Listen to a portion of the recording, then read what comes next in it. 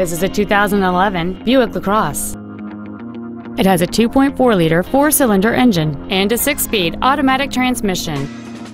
Its top features include a sunroof, heated seats, Bluetooth cell phone integration, a CD player, leather seats, performance tires, aluminum wheels, a low tire pressure indicator, air conditioning with automatic climate control, and this vehicle has fewer than 22,000 miles on the odometer. Please call us today for more information on this great vehicle.